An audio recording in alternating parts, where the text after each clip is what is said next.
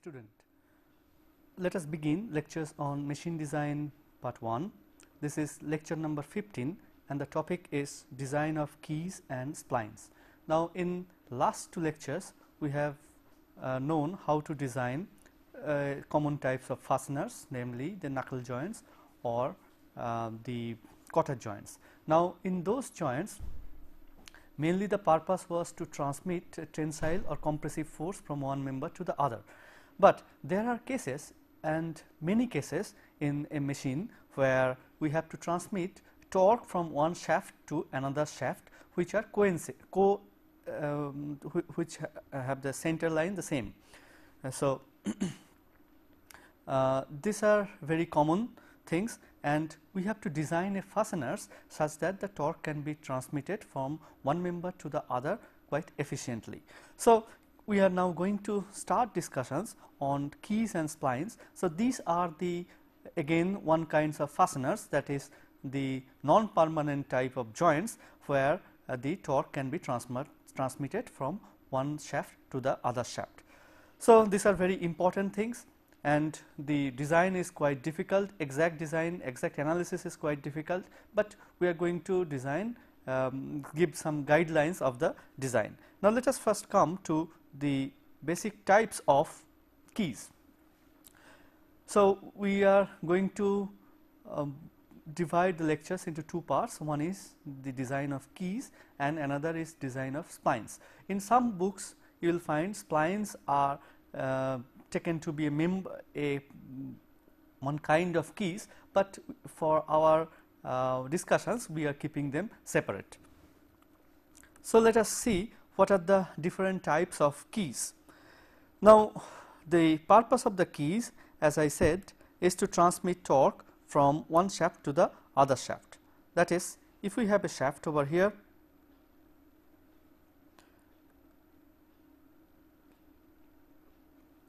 then this is one shaft. Let us think of another shaft which is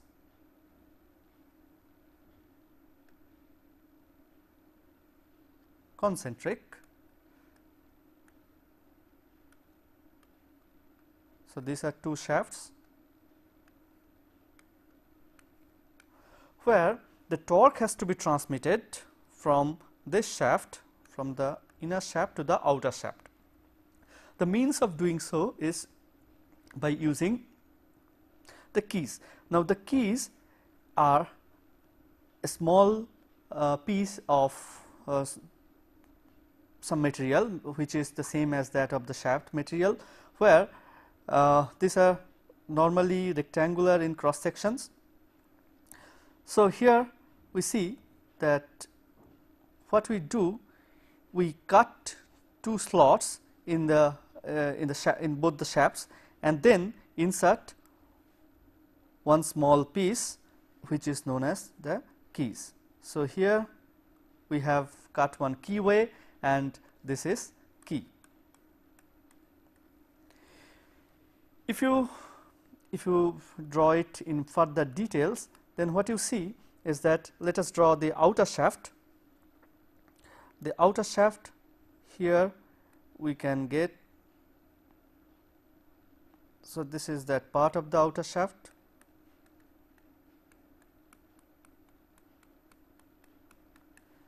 where this key slot is cut. The inner shaft again we have another this is the inner shaft where another slot is cut. Normally these two heights are equal if the total height is h then this is h by 2 h by 2 and so this is the slot for key and we insert a key over here. Now there is a small clearance a tolerance this is because of the machine fitting. So, this is a tolerance a very small tolerance that also depends on the keys the dimensions of the keys, but there there is some tolerance and so this is so this is how the key looks like in a key slot. Now, this part which is the corner of the keys this part this is now little chamfered that is if you look again in a little more deep in a little more details then the keys the keys will look like the cross section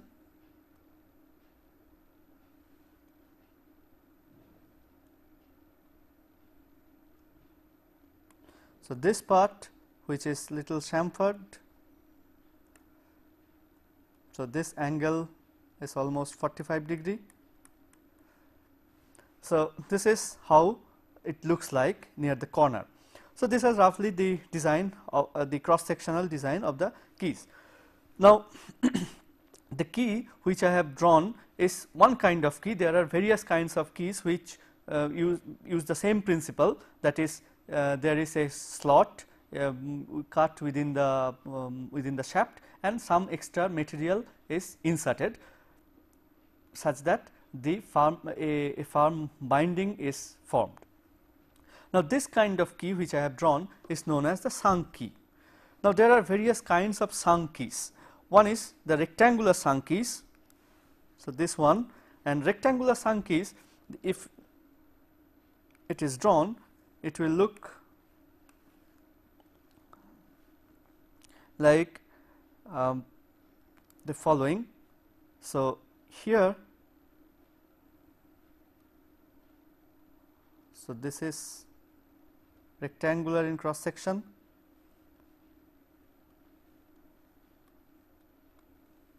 So, this is the key, but normally there is a taper here. So, this taper angle let us call it beta now, taper angle is such that this is 1 is to 100. This normal taper angle is that. So, that means tangent of beta is equal to 1 by 100. So, this is the normal taper angle and this cross section is rectangle. This is normally known as the width denoted by W, this is height h and this is the length of the keys. Now, this is the rectangular sunk keys. If the W equal to H then of course, the cross section is square cross section and we call it square sunk. Then parallel sunk of course, this beta equal to 0. So, in that case for the parallel sunk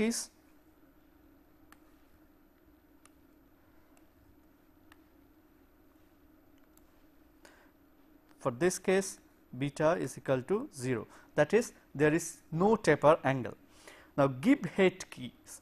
This, this term gib you have already come across while joining um, designing the cotter joint at least the type of cotter joint which I said. There is one joint called uh, gib type gib head cotter joint. Now, gib is again gib head keys it looks somewhat like here like the following. This is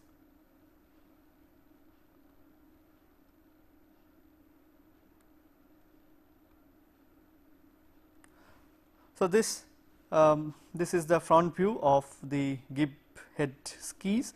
What, what is the purpose of this? This is known as the gib. This part is known as the gib. And what is the purpose? That is to arrest the, uh, th this is normally used in order to, uh, to withdraw or in order to draw out the keys or fix it back. So, if you look at the assembly then it looks like here. So, so this is the shaft. Now again this is the shaft and this is another shaft.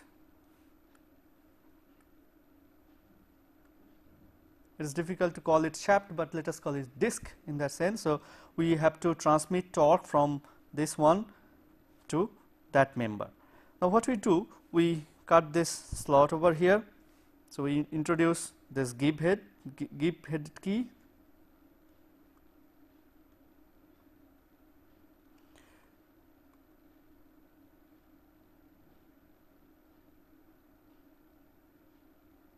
So, this is the gib head key.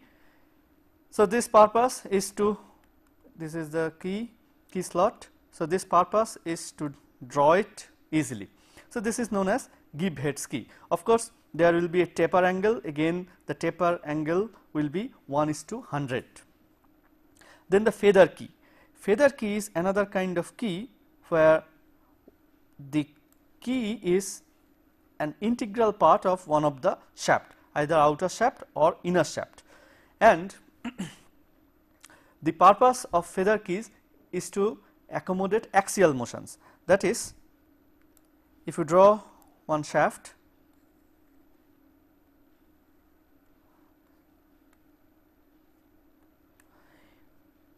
there may be a key which is integral part of it. So, this is now integral part of the now it may be machined this way or it may be set by set screw it may be screwed here and we put another disc which key slot cut into it and then insert. So, you see that if you move it this way that way the uh, the uh, key key provides enough flexibility in moving in axial directions. So, this is the feather keys. Then another kind is the Woodruff keys. Now, let me draw the Woodruff key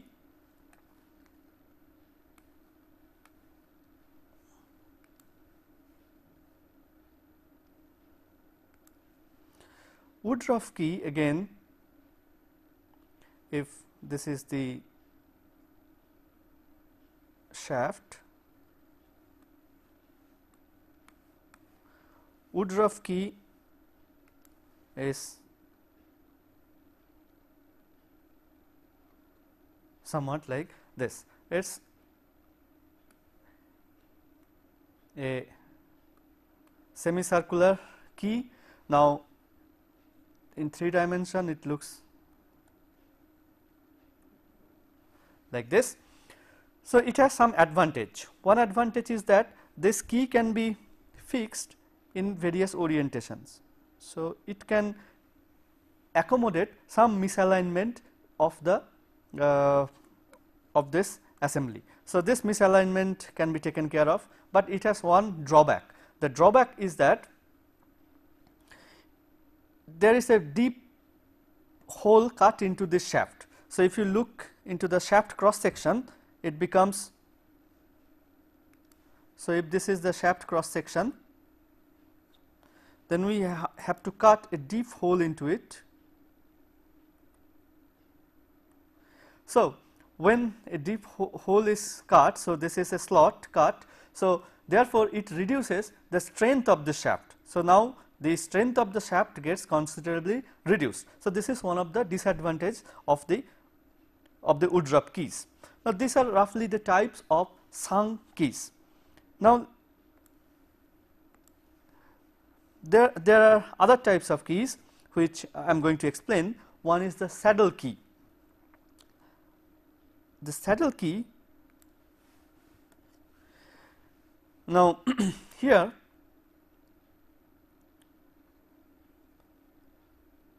Suppose this is one shaft part of the shaft inner shaft and let me draw the outer shaft. This is the outer shaft.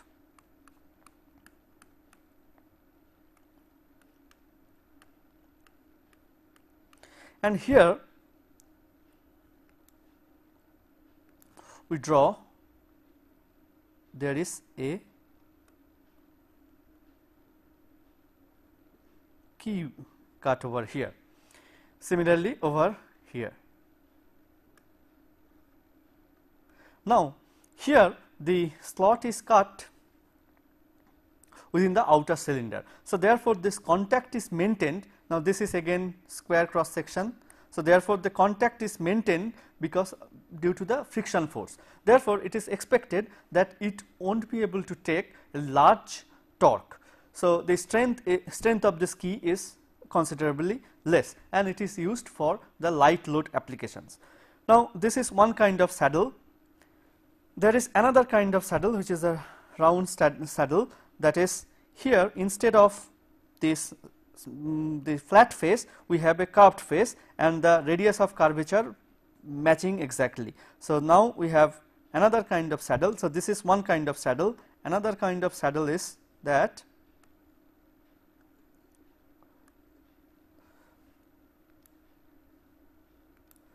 another kind of saddle here the slot is cut such that I mean this key, key is made such that it actually matches the profile. So, naturally the tra torque transmitted is again due to the friction force and therefore, it is considerably less. So, these are the saddle keys. Now, let us come to another type which is known as the tangent keys. Let me draw the tangent keys.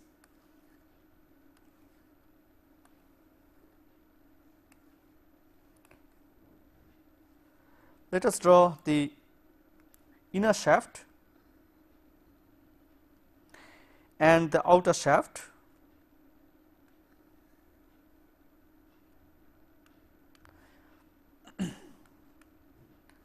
so, this is the outer shaft and this one is the inner shaft. Here we draw the tangent key. The tangent key looks like tangent over here, but it is grouped this way. So, there are two keys this is one tangent key. Definitely it can provide torque in one directions. You will see that if if one direction uh, if the torque is given in some direction in one directions then there is a chance of slippage whereas if the torque is applied in the opposite direction then the chance of slippage is quite less. This is avoided by making two offset tangent keys. So, the tangent keys again there are two such tangent keys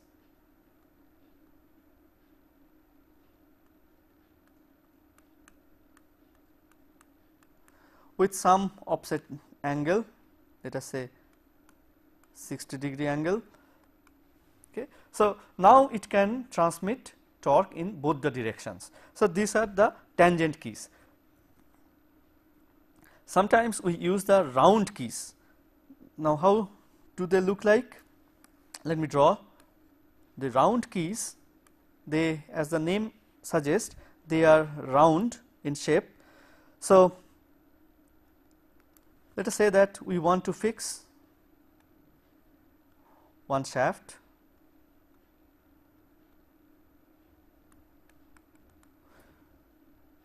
to another shaft.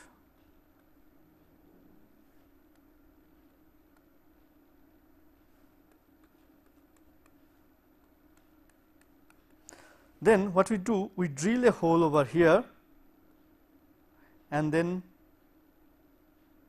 place a key. So, if you look from the side then it looks like this is the inner shaft,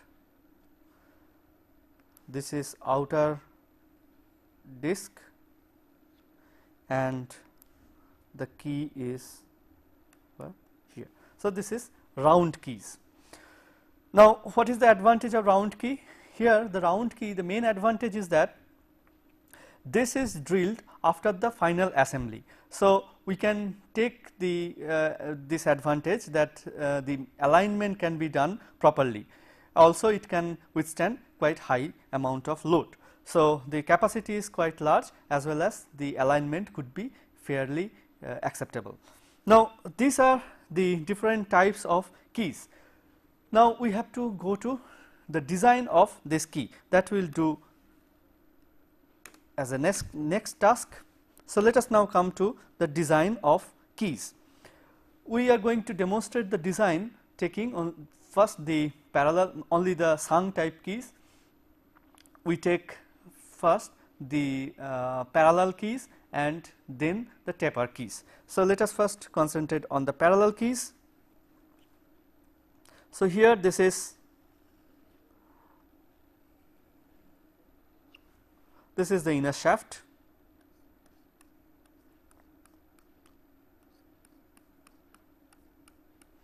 and we have the outer shaft over here.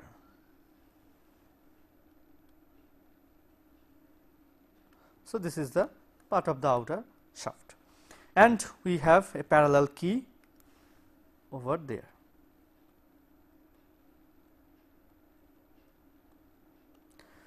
Now, so this is the key. And this height is the geometry of the key.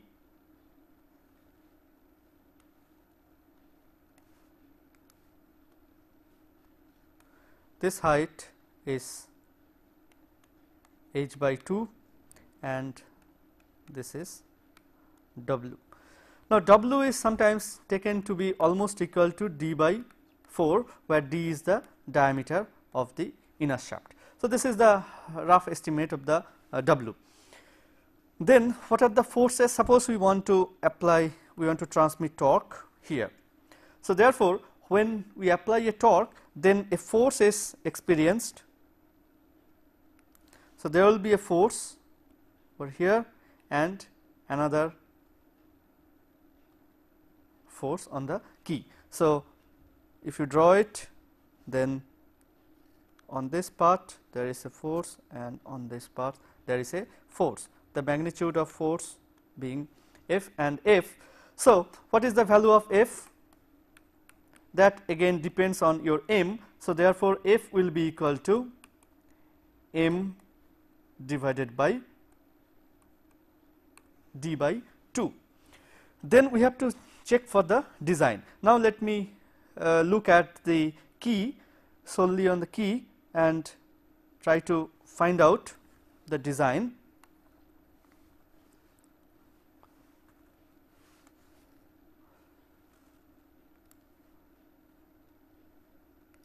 So, this is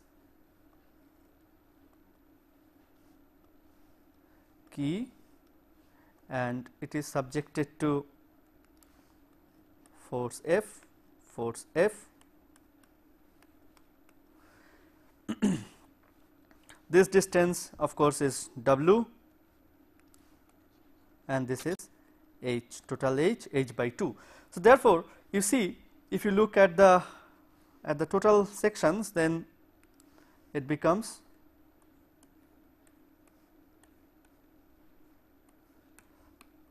So, this from this half it, it is subjected to pressure such that the net force is is F. Now, then there are two kinds of stress stresses develop one is the crushing stress. So, the crushing stress will be equal to sigma compressive stress will be equal to F divided by the total surface over which the bearing uh, pressure the contact pressure occurs that is h by 2 times L where L is the length of the keys. There will be the shear stress and shear stress will take place along this surface. So, the total shear force is again F and the shear stress is equal to shear stress is equal to total force divided by area which is equal to W times the L. So, these are the expressions. Now, in order to have a design good design then sigma c must be less than the allowable compressive stress that is the bearing crushing stress and tau must be less than tau allowable. Now, once we have designed a key then we go for checking this, but one way of designing this key is now to compare the two strengths now we have to we have to define the strength. Now strength of the key is the um, is the maximum torque that can be that can be transmitted from one shaft to the other shaft. Definitely it depends on sigma c allowable. So if we consider the uh, strength due to crushing so crushing strength of the key that means the maximum torque that can be applied while sigma c becomes equal to sigma allowable that is the allowable crushing stress. So, now in that case the design procedure will be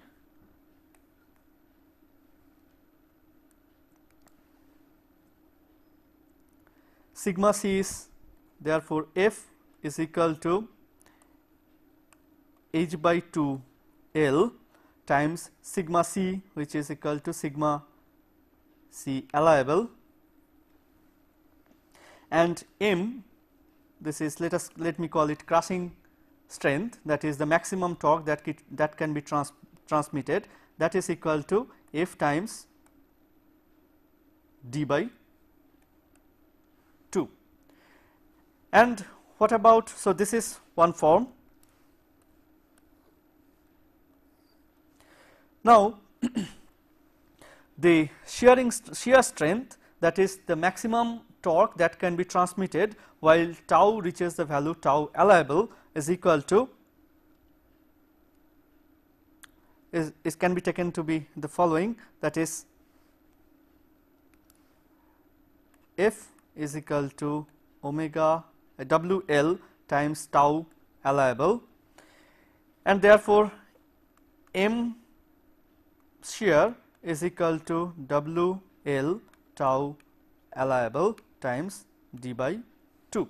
Now, a normal way of designing is to equate this strength that is we want that the strength in in uh, shear should be equal to the strength in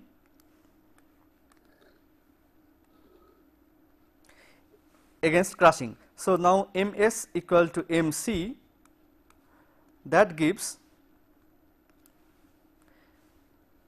that gives h by L h by 2 times L times sigma c allowable times d by 2 equal to W L d by 2 tau allowable. Now, if we take uh, the rough estimate that is W is almost equal to equal to d by 4, then what we get is the following that is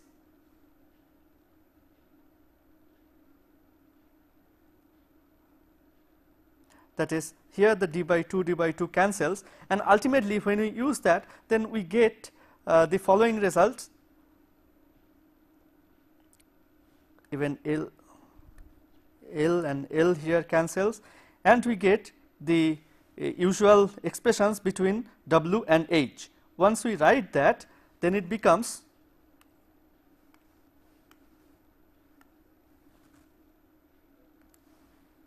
W is equal to h by 2 sigma C A divided by tau allowable. Now, normally sigma C A divided by, by tau allowable is almost equal to 2. So, it is it cannot be less than 2. So, therefore, W is taken to be equal to h. So, this is the this is again this key is the square key. So, in the square key of course, we have approximately the strengths are equal against crushing and, uh, and shear. Now, how to design the length? Now, this length can be designed from the strength considerations of the shaft as well as the key. Then the strength of the shaft is taken to be the following that is the maximum torque that can be transmitted the maximum torque can be transmitted this is equal to tau if you consider this shaft then the maximum torque can be transmitted is tau is m divided by pi by 16 d cube for the maximum value this is tau allowable. Now, let me call by prime when we talk of the shaft. Now, the strength of the shaft is pi by 16 times d cube times tau allowable prime. Then we can decide L the value of this uh, length that is equating m and ms. So, what we do that we equate m equal to m s and when we do that we get the following expressions that is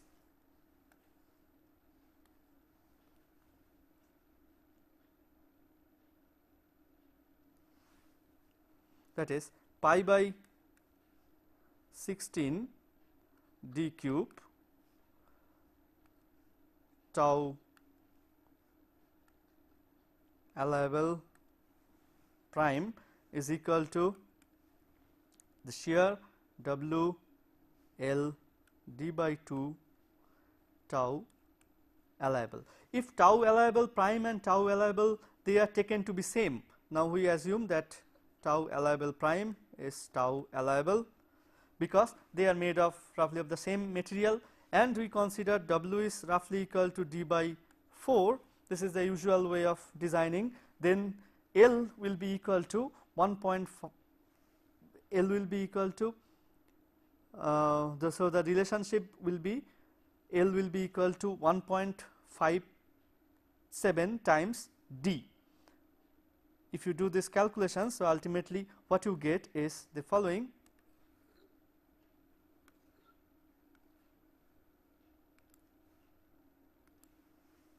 that is from this expressions we get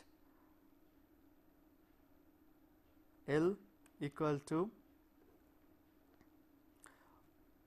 about pi by 2 d which is almost equal to 1.57 d.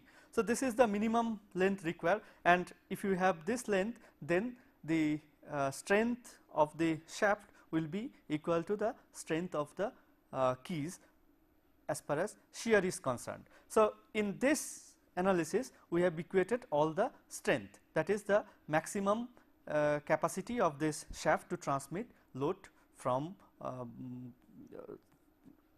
maximum capacity of the shaft or and the keys for transmitting load from one member to the other. So, this is one way of designing the keys. But if you go for for uh, the taper keys then the analysis becomes quite complicated. What we see here let us check the design for the taper keys. Now, what we have there is this is the taper key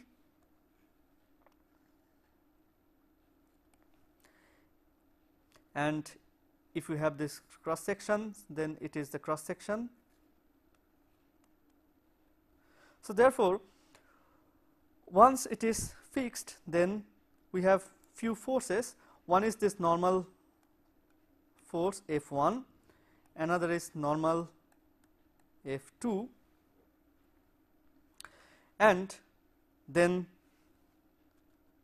the friction force. Now, here for the taper keys normally the uh, mode of transfer is through frictions. So, what we can draw is this is the shaft where this is the outer shaft is drawn over here.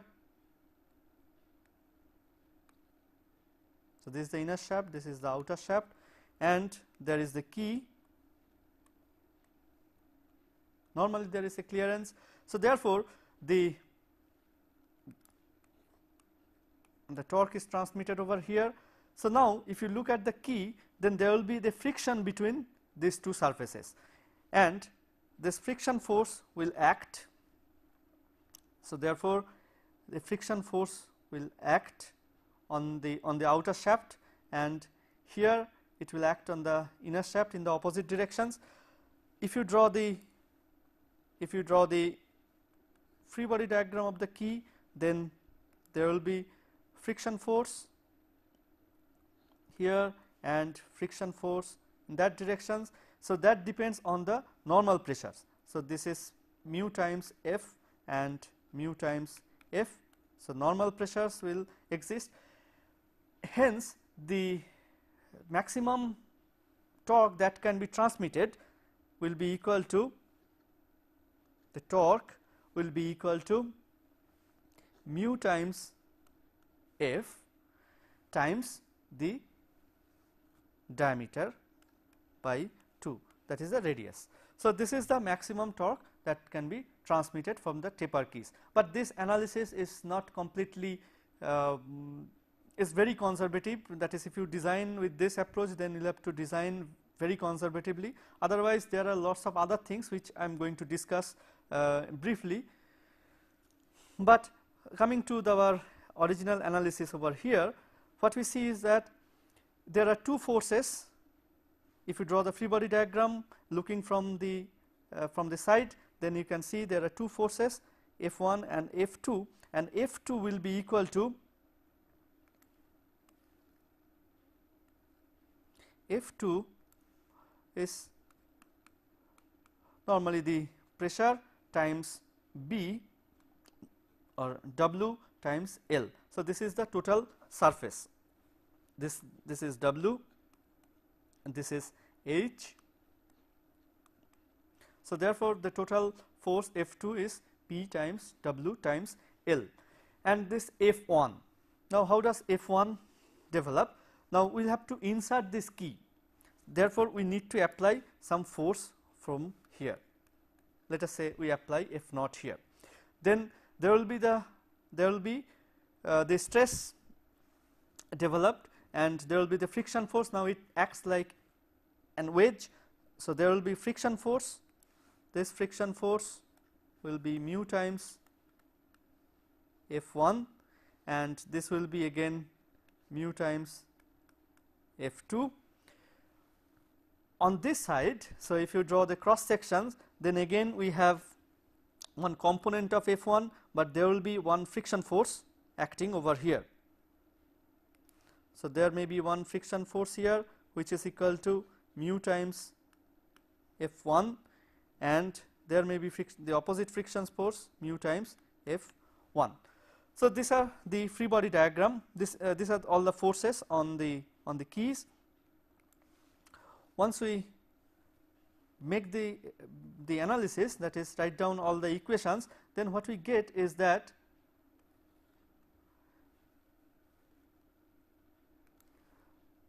So, F 2 is P the maximum pressure can be taken that is the pressure within this um,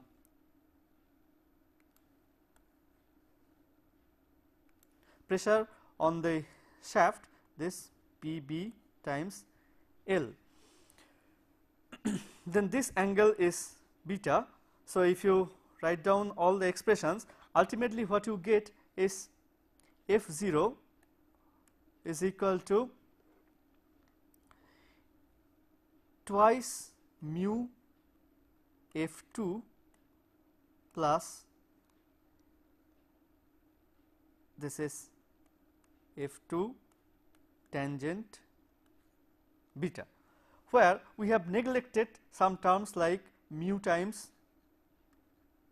cosine beta or mu times sine beta mu times sine beta etc these are neglected.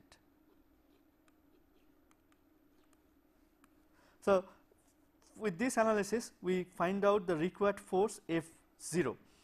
Now, if we apply some F 0 then of course, F 2 will be developed and that will give the required uh, required uh, pressure because ultimately the torque depends on F 2. But the taper keys the design of taper keys is very very complicated because of the following reason. I let me explain briefly what are those reasons.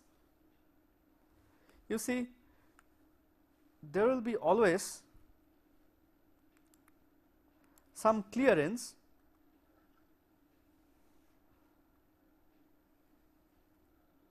between this shaft between these two shafts inner shaft and let us say this is the outer shaft. Let me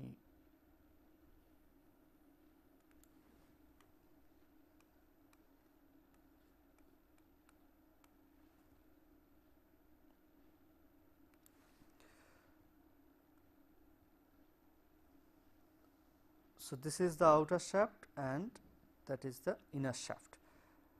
So, this is outer one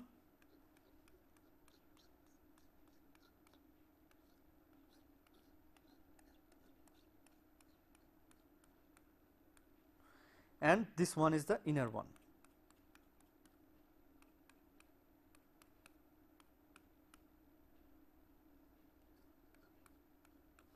Okay. So, there is a clearance over here where the key is fixed. This is the taper key is fixed over here. Now, the friction force acts maybe in this directions and that directions. There may be the normal force n and n they may they make uh, since the distribution is not a priori known. So, therefore, uh, it is difficult to say whether in this two the line of action will be same. So, there is a little offset, but what is important is that there is a contact between two shafts in this region. So, this is the contact region right and the contact pressure develops.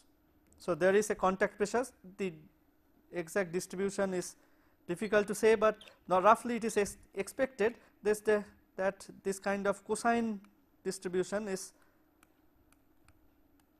exist. Now, when it rotates when you apply a torque over here, so the friction force develops. So, friction force develops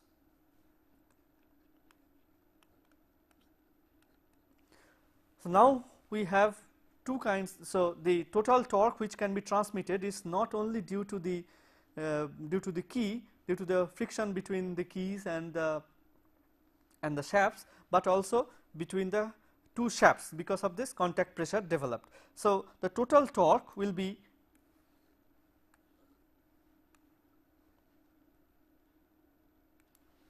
maybe the MT the total torque is equal to the torque due to this friction force F if I call F this is distributed force plus torque due to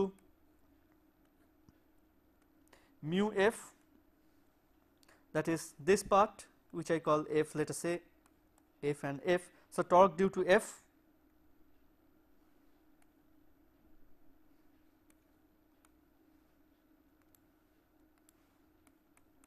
and the torque due to n because two n's here if you draw this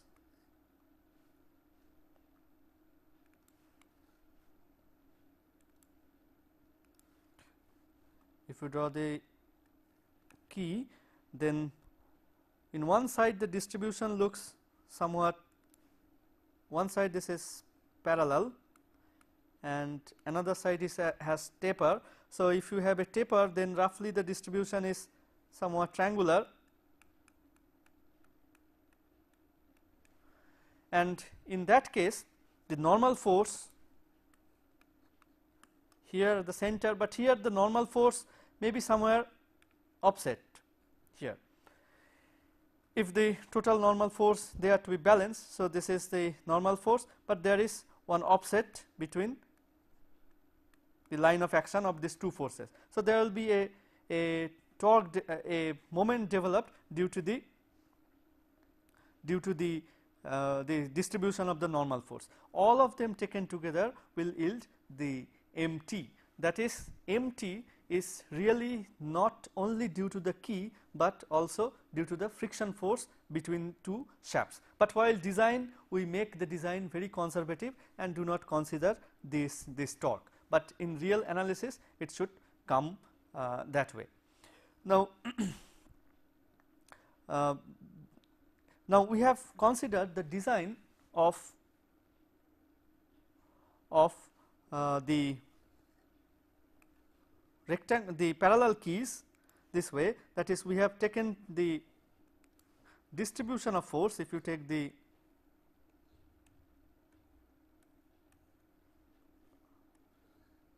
this is the distribution. If you take this distributions then we have considered the force distributions to be uniform throughout.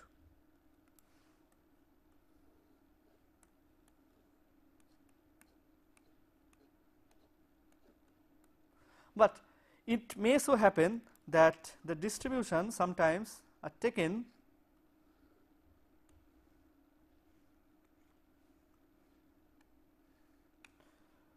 not uniform, but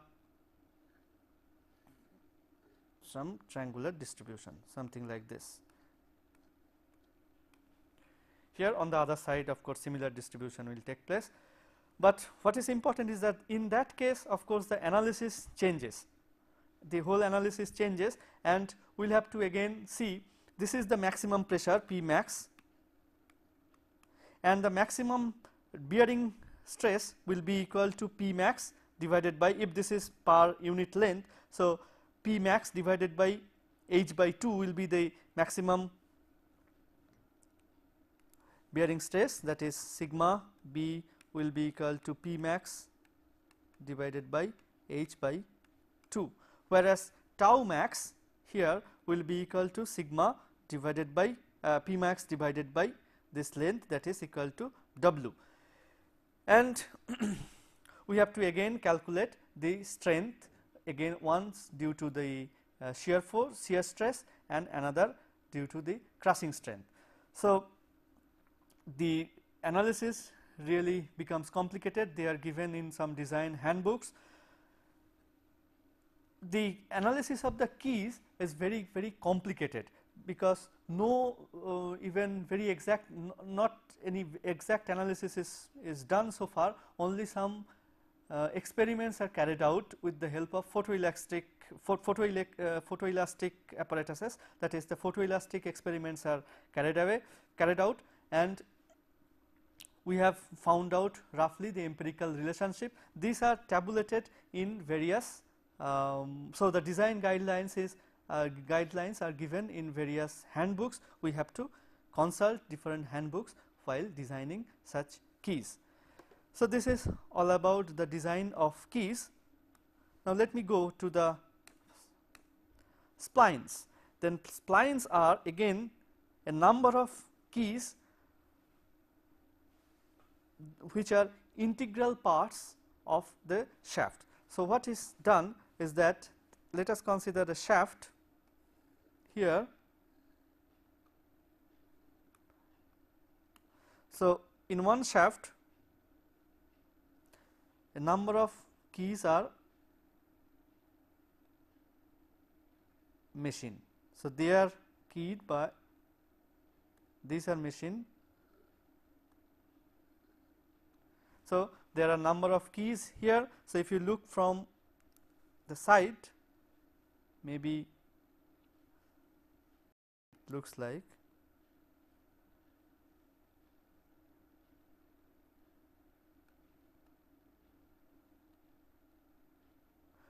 and these are all integral part of the same shaft. The other shaft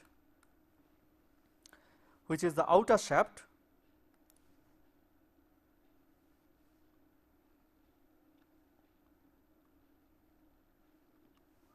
we will have again key slots cut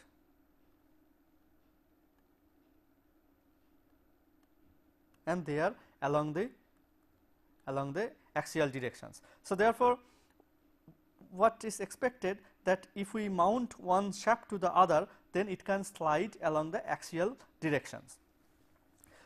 The profile of the of the cross sections they they vary there may be straight edges like the rectangular as you see.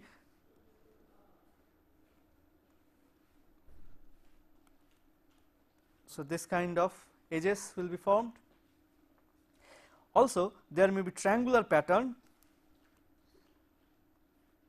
something like this or involute edges. Now what are involute edges? The gear profiles for example are involute gear profiles are possible. So involute edges are there. So, involute edges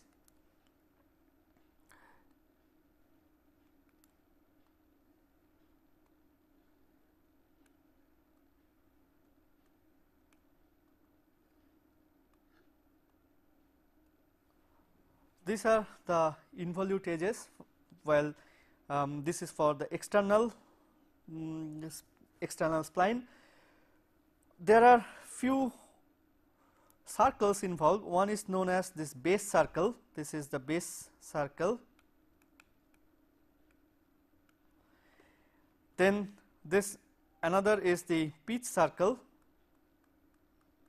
These circles are useful for um, generating this involute profile. So, pitch circle. And this distances this and those distances this is called dedendum and this is addendum. So, there are terms called dedendum and addendum. This distance is the tooth thickness. And if you draw a tangent to this base circle then we get an angle. This is the pressure angle which is very important for force uh, for force transmitted transmissions. And this angle should be chosen such that the maximum torque can be transmitted. Now, what are the uh, advantages of involute edges involute profiles one is that one is that the uh, the sharp corners are avoided here if we use that then sometimes this these are chamfered. So, the sharp corners are are uh, now removed. So, here there is no abrupt change in geometry therefore, the stress concentrations may be quite low, but um, and the another advantage is that the involute edges can be generated in very standard way there. So, there are different standards. Now, these are uh, different kinds of splines. Now, different standards for keys we have to maintain some standards. So, there are different standards used for the keys for parallel keys and keyways we have IS 2048 they there all the informations about the width length and the height are given also tolerance etc etc. So, when we have to uh, use such keys then we will have to look up into the standards. Tangential keys 2291 formed in 1963, taper keys also you will find in some books 1974. Anyway, the standards were reaffirmed in 1980. So, this is the latest. But taper keys and keyways you will find in 2292, gib head keys and keyways in 2293, Woodruff keys and keyways in 2294. So, these are different standards for keys. different standards for splines again for straight slice splines this is IS 2327 for external involute external involute is this one where this is the this shaft and for internal involute this is again the same. So, internal involute and this is external and this is internal external involute 3665 and internal involute 3665 again. So, these are different standards. Now, let us come to the last part that is effect of keyways. Now, the shaft, shaft strength factor which is that because of the keyways the shaft strength of transmission of the torque gets reduced and it gets E equal to 1 minus 0.2 times W by D minus W is the width of the keys and minus 1.1 times h by d is the height of the keys. Now, the strength factor is the strength that is the maximum torque bearing capacity T max without key that is this this is with key without key and this when divided by T max with key this gives the value E. So, therefore, the uh, strength gets reduced by some factor. Similarly, the angular twist factor that is the uh, the angle by which a twisting takes place you remember the well known formula for the twisting of a shaft. The twist angle twist it increases by some factor. Again this is empirical relationship and this is equal to 1 plus 0.4 times w by d plus 0.7 times h by d. Again it depends on w and h. That is the angle by which the shaft will rotate theta it increases. So, theta max that is uh, the maximum angle theta max with key divided by theta max without key this is given by this factor k theta. So, these are the things which are to be considered while designing a key. Now, we come to the uh, conclusions of this lecture. We have learned how to design a keyway and a key. There are various kinds of keys. There is another thing which is very similar to key, but it is not a key and it is uh, much more uh, longer and has much more strength. This is known as splines. They are very very effective and very much used for transmitting torque from one shaft to the other shaft, but there are uh, different advan various advantages associated that is the strength of the shaft decreases because of the keys as well as the twist factor the angle the deflection gets increased. So, these are the pros and cons of keys, but they are very very useful machine elements and are to be designed with proper care. So, this is the end of this lecture. Thank you very much.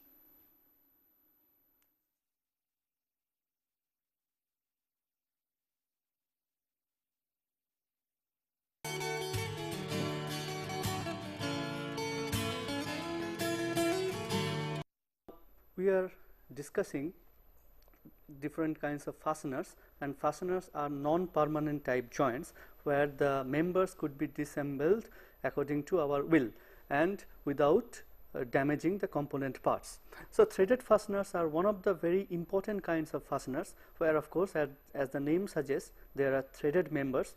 In today's machines uh, most uh, of the machines will have different kinds of threaded fasteners. Normally a rough estimate is that about 60 percent of the uh, machine elements are now threaded uh, have threads. So, um, and the fasteners types are threaded fasteners. So, we are going to discuss different kinds of threaded fasteners in today's lecture. First of all, let us see what are the different types of threaded fasteners. Now, the first name which comes is the bolts with nuts. Now, this is a very common type of threaded fasteners which all of us are acquainted with. Let me draw a rough diagram of the uh, this kind of threaded fastener.